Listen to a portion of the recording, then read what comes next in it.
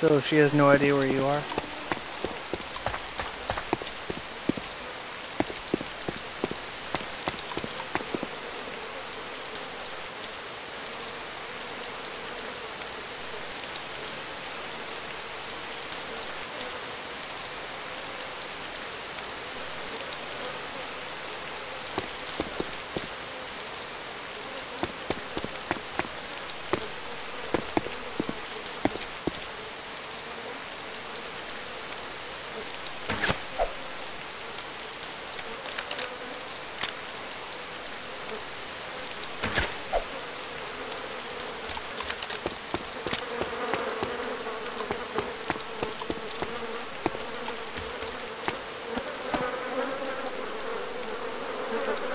Now you have a murder?